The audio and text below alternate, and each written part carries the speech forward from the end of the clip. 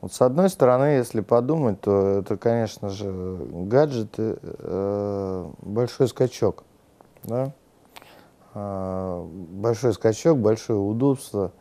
Э, то есть э, всегда ты можешь быть на связи, всегда тебя можно найти, кстати. Вот. Э, а с другой стороны, вот начинает бесить просто вот эти люди, которые уткнулись э, в телефон.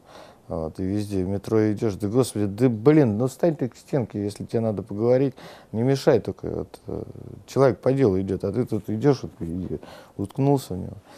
Вот, э, как-то немножко зомбирует, да? Вот, э, если всего в меру, я думаю, что это нормально.